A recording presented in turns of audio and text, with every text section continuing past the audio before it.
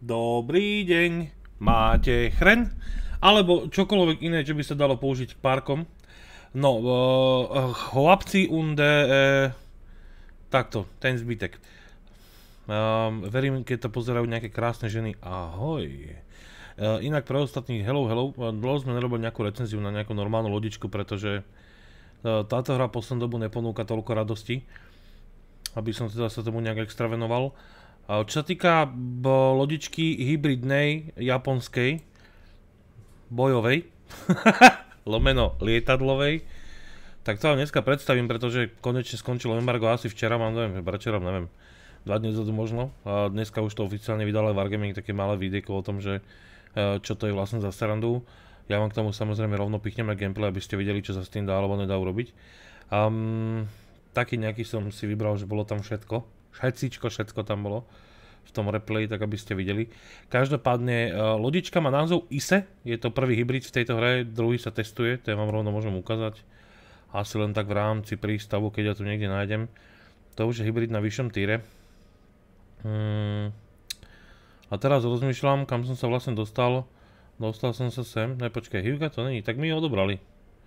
Tak vám ho neukážem na vyššom, počkaj, alebo ukážem? Teraz som sám zo seba zmetený. Som zmetený. A, počkaj, hovno, jasné, že on až na osmičke, na osmičke je to tuto. Tak, dobre. Toto bude druhý hybrid, ktorý dojde do hry, to bude, tentokrát to bude krížnik. A, ktorý, ktorý je, toto je aktuálne v teste, táto stranda, to bude osmičkový krížnik. A my sa budeme teraz venovať e, tejto šestkovej bitevke. E, tak, koničiva, e, is, ise san. E, tak, ISE, e, bitevčička. Má to celkom akože podobný e, taký ten charakteristika s touto strandou.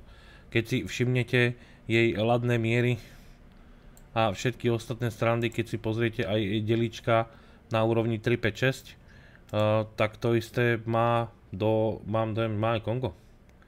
Teraz som taký akože celkom zmetený, ale malo by to mať niečo podobné. Ono v podstate ani tak veľmi o to nejde, čo to má, čo to nemá, pretože Hej, jo, Kongo. Jo, Kongo. Kongač. Das ist ein e, 356 Kongo. Jo. Tak, aby ste vedeli. Kongo a Fuse rovnaké delá, Kongo ich má menej. A táto strana Iseovská e, na úrovni 6 má samozrejme tých diel, keď si aj pozriete, tak fakt je to akože kon Kongojica. No doslova je to Kongo a do toho je hodená tak akože E, prístavba, keby si k baraku postavil garáž a zaparkoval tam 4 lietadla, tak takto nejak by to vyzeralo. Musím povedať teda ako, že veľmi zaujímavý počin. Vpredu bitevka, vzadu lietadlovka. Ovládaniu a celkovému gameplayu sa budem venovať a budem komentovať popri, popri tom gameplay, čo budete vidieť. Ja len v rýchlosti vám ukážem, jak vyzerá ten pancier a jak vyzerá tá protitorpedová obšivka, ktorá je masívna, akože tá sa až dozadu okrem tej úplne zadnej časti, keď ju kompletne odstraníme, tak Citadel len akože máme tady tudy, ja, ja, ja sa to pokúsim teda odstraniť, aby ste videli tie farbičky krajšie na tom mori, jak je to porozdeľované. Tá citadelka je mierne, mierne skovaná v podstate e, tutaj dole, takže dá sa to fajne napaliť, e, ťahne sa to až tentokrát až pod zadné dela, do tej zadnej časti. Malo by tam to tak fungovať, aby ste to videli aj to skosenie predné a podobne. Najvyšší pancer samozrejme čela veži 305, to je max.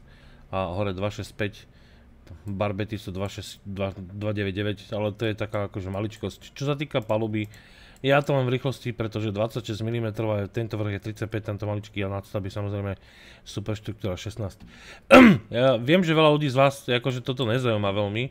Vás skôr zaujímajú také tie možno mocné parametre, to znamená delička 356 mm, Uh, maximálny damage APčkom 10-200, to je Citadela.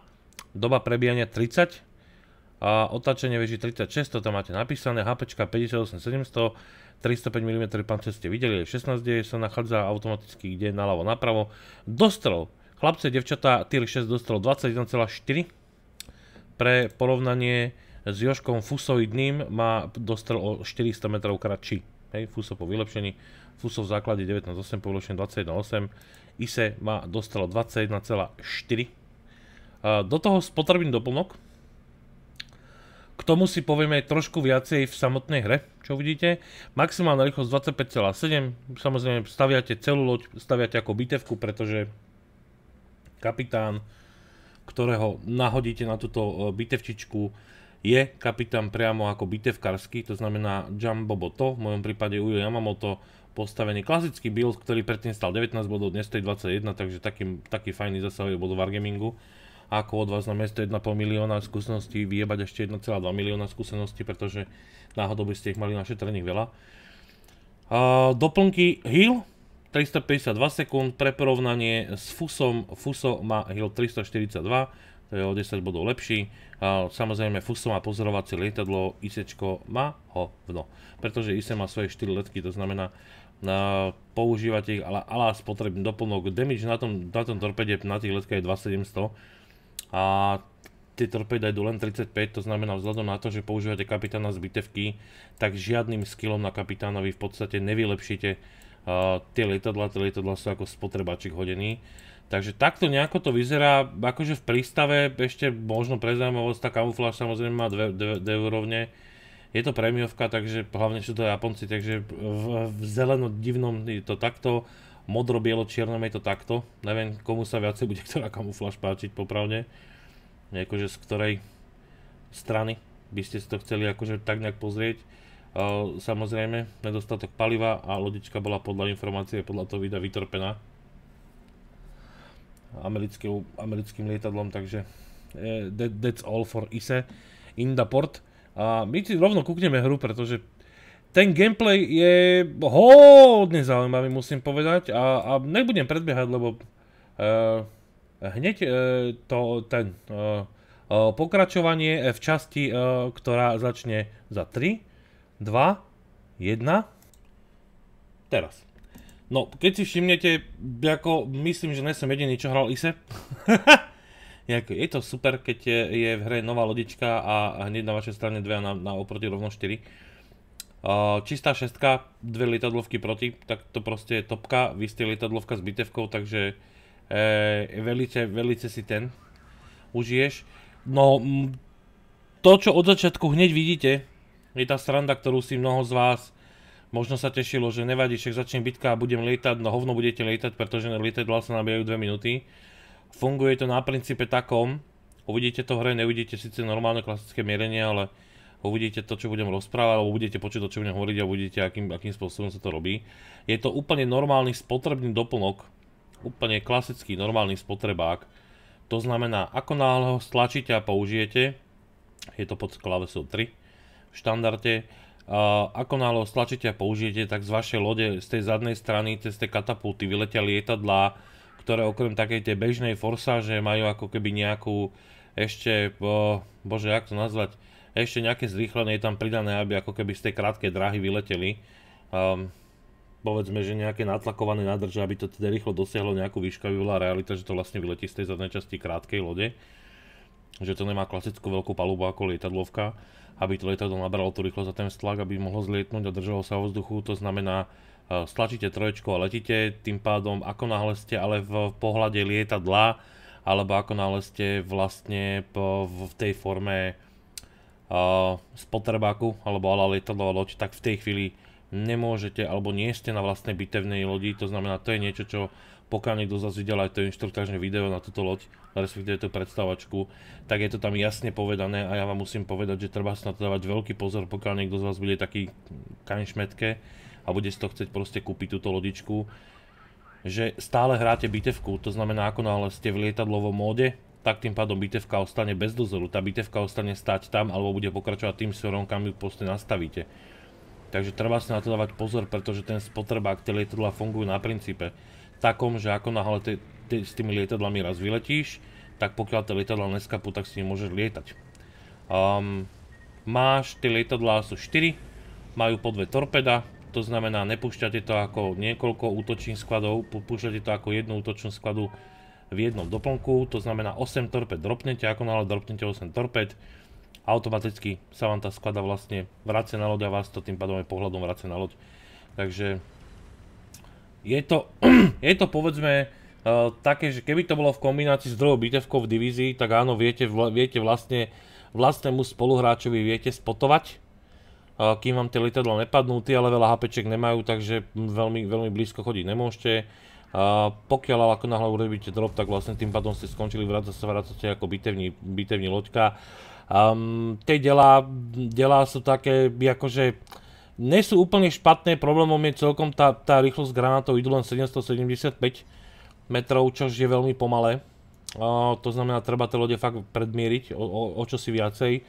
Pokiaľ ste zvyknutí na top tierové hry, uh, tým pádom tam, že tie granáty letajú fakt o viac ako 850, dokonca niektoré cez 900, pokiaľ hráte tie ruské krížniky, takže tým pádom tam je to také easy.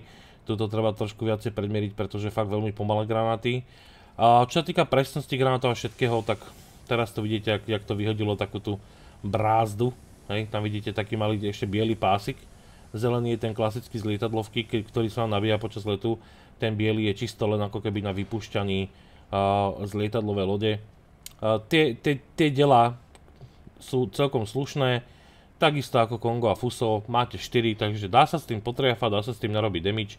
Toto je tá situácia, vidíte, že kde mne ostala lodička na tej minimape, je tam tá lode reálne stojí, to znamená pokiaľ idem dropovať a idem, vidíte, že aj niekto, aj druhé naše ISO robí to isté, čo idem robiť ja s tým Bayerno, na to Bayerna. To znamená, klasicky dropujete, klasicky vidíte tú normálnu, normálnu tú platformu, alebo ten pattern vlastne po anglicky, sa to nazýva, fakt neviem si spomínať niektoré slovenské, československé slovička. Dropnete a okamžite vás to vracia na bitevku, ktorá medzi tým stále fungovala a išla. To znamená, vidíte tie torpeda, koľko dávajú damage To proste nič moc ako Ačka, ako polohybridná lodička, máte, máte také, že niečo vám to aj pozostreluje, keď to na vás letí. Bohužiaľ videli ste, došiel som k Bayernovi a tie lietadla veľmi nevydržali a to isté vidíte aj ďalej. Preto je tu tento replay, pretože tu si to dosť jasne viete pozrieť, akým spôsobom to funguje. Je to taká, musím hneď od začiatku povedať môj osobný názor, keďže vy ešte neviete, ako tá bitka dopadne a hlavne je ten gameplay celkom zaujímavý, ktorý by si fakt akože stojí za toto pozrieť celé.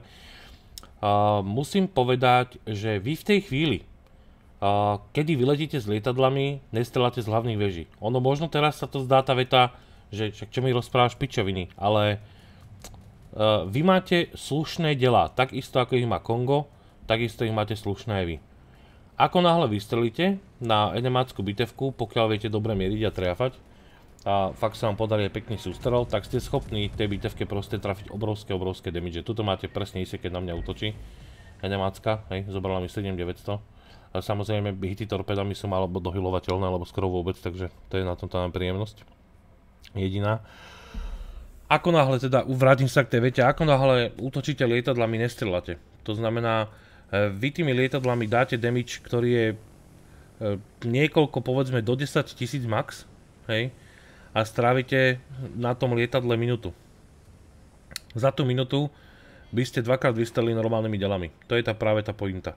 To znamená, tieto lietadla, teraz to vidíte, tá isečko mi uteklo preč. To znamená, teraz napríklad je dobrá pointa, že keďže nikoho nemám v dostele, viem vyťahnuť hore tie lietadla, ktoré klasicky proste prejdú celú tú mapu, preletia a viem ísť naháňať enemáka, ktorého by som normálne nedostrelil, pretože ako nemám, a možno teraz, teraz by som dostrelil tohto mal, ale nevidel som ho a nebol spotnutý. To znamená, nemal som ako po ňom strelať a ako náhle mne tie lietadla padnú, tak už nebudem môcť po ňom strelať. Teraz vidíte 7200 HPčiek a pozri sa, čo robí to isečko. Presne tu vidíte, jak, jak vyzerajú tie protilietadlové palby z toho isé, že fakt tie lietadla proste idú dole postupne a bohužiaľ, ako náhle vám zostrelí jedno lietadlo, to je automaticky o dve torpeda menej na drope. Ja už som o to nechcel oblietávať hore dole, lebo tam už som sa blížil. Samozrejme vidíte, že aj spotting damage vám to narátáva, pretože aj svietite tým, čo robíte. Hneď vás to vráti, je pre istotu Ranger hovorím, a Ranger na tom stojí, tak poď. Tu som sa ešte snažil trafiť. To je, toto je práve tá situácia, že môžete, môžete ísť s torpedovými letkami, ale v tej chvíli nevystrelíš. To znamená, pri tých pri tých súbojoch, kedy, kedy by ste mali ostať vo, vo vlastne v tej bitevkovej forme a mali by ste byť kapitán bojovej lode, tak v žiadnom prípade by ste to nemali prepínať na lietadla, pretože jednak pokiaľ si nedáte pozor na broadside, tak vás niekto zabije. A jednak, jednak to, že tie lietadla tiež neletia 500 za hodinu, takže kým aj niekam doletíte, kým tá lodička bude robiť protipohyb tak, aby ste ju nevedeli proste úplne jednoducho proste strajknúť, tak takisto to proste niečo zaberie. Takže treba si vždy rozmyslieť, že kedy s tými lietadlami je fajn vyletieť alebo nie je. Ja to dokonca ešte budem lietať kade tade. Vidíte, že každých pár minút to máte nabité.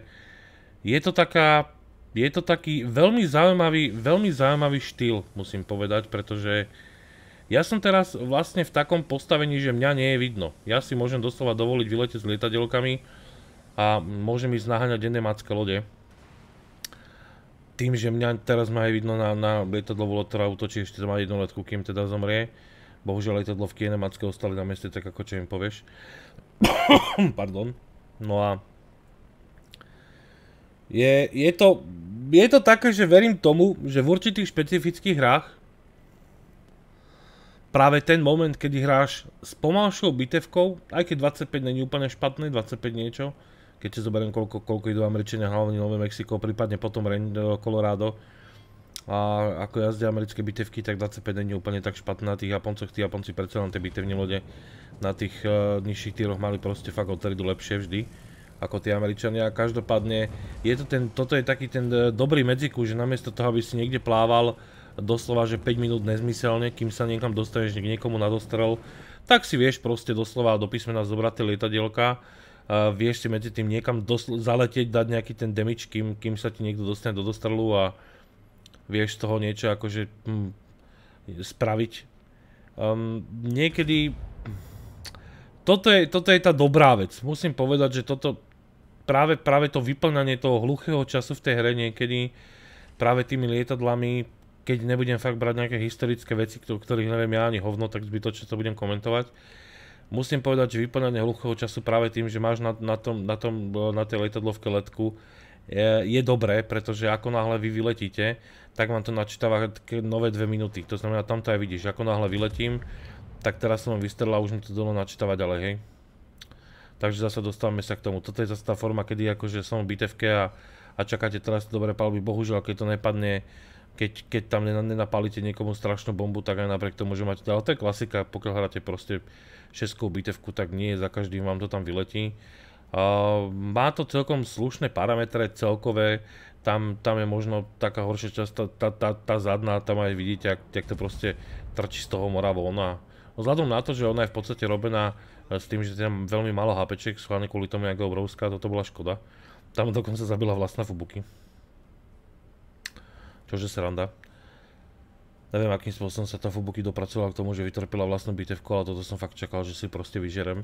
No a toto sú tie momenty, kedy som presne začal skúšať práve to, že, že čo sa stane, keď, keď dojdem do, komba, do kombatu na, na, bližší, na bližšiu vzdialenosť, a vystrelí človek normálne a hneď po vystrelení v podstate zoberete von lietadla, pretože rátate s tým, že tá enemacká bitevka sa bude točiť, vidíte, že to boli len odrazy. Dokonca som ho ani správne netrafil. Ja sa tu snažím naletieť, lebo som si myslel, že pôjde práve ako keby do stredu a pôjde na čumák. Takže to hovorím si, tu ho rovno trafím, alebo tu ho pôjdem rovno torpiť vo chvíli, keď bude vchádzať dnu. A on, on ma tu normálne ma tu okašľal, Takže som ho musel proste dropovať, až takto to zostalo skoro mi proste nevyšlo na drop. A T61 zabil chvala Bohu naše fuso, ale to si z toho proste pobralo nejaké tie suveníry v podobe tučňačíkov, takže ten už veľa HPček nemal. A naše fúky zabilo isečko, čo utekalo, teraz som trafil, vidíš to, 1, 2, 3 torpeda. Oni tým, že idú 35, oni nie sú veľmi rýchlo, takže ono ich treba dropovať akože fakt, že na blízko a, a, a tá hra sa nevyvíja podstate absolútne v náš prospech.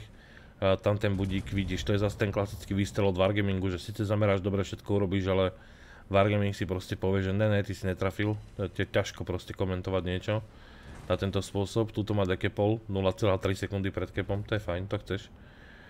Medzi tým viem, že ISčko je niekde za mnou, tam sú ešte ďalší, oni de facto sme ostali traja aj s našou letadlovou loďou. Náš Ranger aspoň mal dosť rozumu na to, aby utiekol. No je to taký, musím povedať, že je to taký hodne zaujímavý herný štýl, pretože prináša to úplne nový prvok do hry. Tá bitevka je taká klasická, troliaca, jak vždy. Keď proste máte dobrý sústrel, tak fakt tie japonské diela vždy aj na tých, hlavne na tých loďach Kongo a Fuso boli vždy extrémne silné. To isté ako potom pokračuje Nagato, alebo potom pokračuje Amagi. Tam vždy sa rátalo, že ako náhle tie sústrely, ako náhle vám tá hra proste dá ten krásny sústrel, tak tie lode proste trhajú. A hlavne v prípade Nagata na tej sedmičke to sú proste úplne mordy, keď to niekam trafí. To znamená, toto je na, také, na, na, na, takom nejakom podobnom princípe, že ako náhle vieš, že uh, pod, máš, máš, ten, máš ten čas, tak uh, je to super.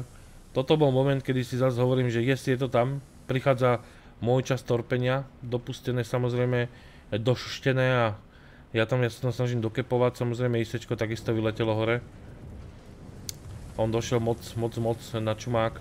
V tejto chvíli ale Andrea Doria prednými delami ho zabíja, takže ja som si povedal, že nedropnem. Tu je to práve vidno, že si idem do dropu, ale nedropnem.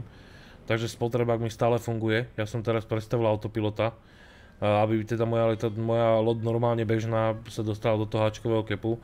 A hovorím si, idem spotnúť toho budíka, pretože toto je práve to, čo, čo by sa aj dalo proste robiť. Andrea Doria, tam bola, bol tu budík, ktorý nám uteká, teraz je to vyrovnané traja na troch, hovorím však, spotneme budíka, bude dobre, vidíš budík 4900 HP, čo je normálne kartón, ale za týchto okolností ťažko, vidíš ako ďaleko proste mu idú tie, tie protilitadlové palby, teraz čistá červená, to znamená, toto má proste zapnutú baráž a budík sa nechce nechať zabiť. A bohužiaľ narazil sa na budíka, ktorý to vie hrať. Takže kým som k nemu doletel, tak už mi aj skončil samozrejme e, ten e, klasický e, ten, ten možný drop, že som už nevidel letieť ďalej. A takisto, kým som sa vrátil na loď, moje, moje dela boli natočené doľava, takže ani, ani tých pár sekúnd spotu, ktoré som si spotol sám pre seba, na, na tom budíkovi mi proste neostal budík svieti v tej chvíli. Odzadu sa blížil Dunkerk, hovorím, ja potrebujem to budíka doklepnúť, nech máme body, lebo nemal veľa HPčiek, a predsa len lepšie zabiť budíka, ktorý má 4900 ako celého Dunkerka plného. Plus to ISE, ktoré som v tejto chvíli vôbec netušil, koľko má HPček. NMAčké ISE. Hovorím, OK, musíme sa to natočiť na, na toho budíka, vidíte, že ani tie torpeda nemajú proste dlhú dráhu jazdy, keď ich vypustíte, tak predsa len akože na 18 km stáť na budíka je také hodne ošemetné, keďže keďže budík bez problémov de facto dokáže vydržovať tie vaše hodne, hodne pomalé granáty musím povedať. Tu, tu bohužiaľ nedojde kill na toho budíka. Hovorím si, že treba niečo robiť, pretože minúta 40 do konca. A... Uh, hečka letajú rýchlejšie, to som zabudol asi povedať teraz, keď vidím tie hečka. Uh, hečka letajú 805, pokiaľ si dobre pamätám to číslo. 775 by mali byť APčka, metrov za sekundu, hečka sú 805. Takže hečka sú niečo rýchlejšie, teraz samozrejme pre mňa ideálna ideál, ideálny stav, nakoľko to isté sa ide vlastne točiť uh, proti Andrea Doria, tak chcem, je, chcem pomôcť Dori tým, že pôjdu tam moje lietadla, Ranger tam takisto bombarduje. Ise, Ise samozrejme vidí, že neprepína sa do lietadlového módu, pretože nevyletáva mu žiadne lietadla von, teraz tá, tá Doria ho proste pekne strajkla do boku. Bolo vidno, ako dostal šialenú 20 a teraz odo mňa samozrejme som si dával majzla, aby som teda naletel správne Doslova tie torpeda majú obrovitánsky rozptyl. Hej, tam to je to vidno. Pardon, viac sa nespoja, ide mi tu klima, tak kýcham. A teraz, teraz to aj bude vidno. Proste, vidíš, na, to, na tú šírku lode trafíš maximálne tých, tých 5-6 torped a vidíš aj ten damage, tu ešte dostane niečo odo mňa. Bohužiaľ, toto tie diela, keď to proste potrlí, tak to potrlí. 30 sekúnd do konca, ten budík je úplne na okraji mapy, ten vie čo robí v podstate. Ja som sa tu celkom spoliehal na to, že ISčko padne prvé, Doria ho dorazila, čože super. Vedeli ste, čo to znamená otočiť proces takouto lodičkou, že ako mm, amen, amen adovi. Um, do toho niekde tu je ten Dunkirk. Hovorím, je to, je to, je to taká čistá, čistá vec, keď, keď v podstate ste bitevka, ktorá sa snaží na tom týre niečo uhrať, aj teraz ten Dunkirk. Ja som to dal trošku vyššie, lebo som sa práve bál, že mi zadné dela chytí ostrov a bohužiaľ v tejto výške Citadela ťažko, aj tak 12 tisíc dostal aspoň. A tu som vlezol do kepu, že bude dobré. A ej, nebolo úplne dobré, pretože prebíjanie lietadelka som načítané ešte nemal. A keď som sa tu, tuto snažil tušne vysteliť, tak bohužiaľ nemáci práve mali toľko bodov, že tá hra rovno skončila. Čož teda nebolo úplne, úplne to, čo chceš. Bohužiaľ sme prehrali. Um, tabulka len for fun vyzerá takto, v podstate nič nejako extra, prvý budík, potom vidíš to isečka sú hore, e, zarobili si celkom slušne, takže je to taká dobrá kombinácia, myslím, že je to taký hodne, hodne, hodne príjemná zmena. Um, aj to, koľko človek trafil torped, koľko, koľko som natrafal damageu, hej, že plus tie torpeda, že toto boli hlavnými delami, 77 torpedami 31, trafených torped 16, pritom som zhodil 40, hej, je to tam aj, je to tam aj pekne rozpísané. A ako prémiovka, samozrejme, na 6 755 tisíc, ale to je vďaka, vďaka samozrejme použitým vlajkám, je to vidno, čo všetko tam bolo naklikané, takže jednak aj tie XP, jednak aj tie kredity trošku zodpovedajú tomu. A napriek tomu, že to prehra, keby to bola výhra, tak to akože tie čísla sú násobne vyššie. No, každopádne takto tá hra. Ja to nechcem veľmi ani rozširovať, v podstate nechcem robiť nejaké isté super dlhé video, už aj tak má 25 minút. A musím povedať, že napriek tomu, uh, že je to tier 6 a viem, že veľmi veľa ľudí to hrať nechce na, na low tieroch, pretože pokiaľ so 6 chytíš osmičky, tak to musí byť šialene zlé čo táto lodička urobí v sedmičkách a v osmičkách, myslím, že určite bude ťahať za kratší koniec, ale to väčšinou všetky šestkové lode, ktoré sa do toho matchmakingu dostanú. Tam bohužiaľ trpíte na to, to je pravda. Takisto pokiaľ budete chcieť tými lietadlami zautočiť na ne, napríklad krížnik osmičkový, tak tie lietadla tam s najväčšou pravdepodobnosťou pri tej veľkosti tej letky a tých HPčkách veľmi ťažko doletia, pretože takisto nemajú ani nejakú forsaž extrémnu, aby ste to predbehli. Takže vo vlastnom týre, vo vlastnom týre šestky, prípadne keby ste chytili peťky, tak budete úplný králi. Ja si myslím, že tam sa dokonca v rámci šestok, tak ako to bolo teraz, že matchmaking boli čisté šestky, ja pardon, to ja to mám na fotke, nie na, na onom, čisté šestky, tak v tomto matchmakingu medzi šestkami doslova sa zabavíte tou hrou, ako bolo to veľmi, veľmi príjemné hranie. Takže toto je, je, to, je to zábavné, musím povedať, že je to veľmi zábavné. Pre mňa tým, že mám rád lietadlové lode, tak pre mňa je to veľmi dobrá kombinácia bitevky a lietadlovky mi skombinoval niekto. O to menej sa teším na ten krížnik. To sa možno bude tešiť niekto iný práve na krížnik s lietadlovkou. Uh, ja musím povedať, že je to zábavné, na druhej strane bo, neviem, či tá cena zodpoveda tomu, čo sa tu dostanete, pretože nemyslím si, že šestková prémiová bitevka byť kombinovaná s lietadlovkou v tom osmičkovom matchmakingu, keď ho dostanete, čo všetci vieme, že, že vo veľkej väčšine prípadov väčšina lodí, pokiaľ nie ste priamo tých 10, tak je práve plus 2 týry v tých hrách, bez hľadu na to, čo vám povedia tí bieloruskí kreteni. Takže je to tak proste, je, je tam veľký problém s tým, že tie aptírové lode vás rozbijú, aj skrz toho, že ste len šestková bitevka a tie lietadielka sú, ale je to zase také na druhej strane, že že tie lietadielka vám k niečomu pomôžu. No každopádne, ako náhle chytáte vlastníci, je to fajn. Pokiaľ niekto to chcete do zbierky, no za normálne okolnosti vždy už poslednú dobu tvrdím, nekupujte od Wargamingu nič, lebo to tí chlapci nezaslúžia za to, čo robia s tou hrou. A myslím, že toto budem tvrdiť naďalej, pokiaľ ale sa nájdú zberatelia, ktorým v podstate peniaze nechybajú a uvažovali by nad tým, že či tá loď je hrateľná, není hrateľná, či to s ňou bude zábavné, alebo je to veľmi ťažké na ovládanie, alebo je to ako nereálna blbosť, tak musím povedať, že uh, tentokrát, tak tentokrát musím povedať, že je to také príjemné. Toto bola de facto úplne, vidíte, na pohodičku odohraná hra.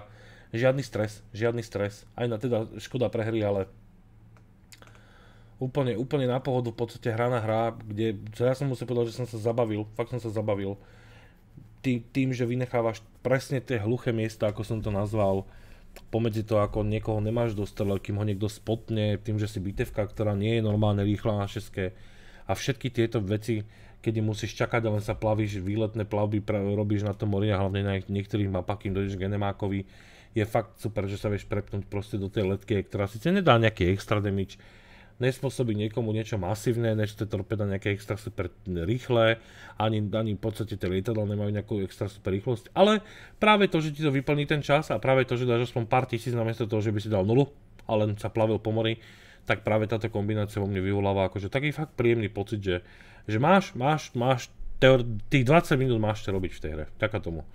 Takže za mňa dobrý počin, kto teda chcete obetovať svoje dublony, tak hura do toho pre väčšinu ľudí odporúčam, keď chcete niečo kúpať od Wargamingu, tak max prémiový účet, aby ste mali teda kredity, alebo pokiaľ niečo expíte, pokiaľ už neexpíte a, a kreditov máte milióny na účte, tak v tom prípade akože už nekupujte nič. keď tak si dojdete na stream, akorát tak zahrať okolo kontajnery. A to je tak všetko, no do mňa, tentokrát na ISE. Je to fajn, je to fajn. Ale to som sa vykecal ďalších 5 minút. No som ja... Normálne mi tá huba, keď sa spustí, to je keď padáš dole z kopca a len sa kotúlaš. To nezastavíš. 30 minútové video. Kriste, pane Bože, čo? Či má furt... No nič, dobre, nič. Ukončujeme to na 30 minúte rovno. Díky moc za sledovanie, vidíme sa na streame. Díky moc všetkým za odber. Papiky, pa.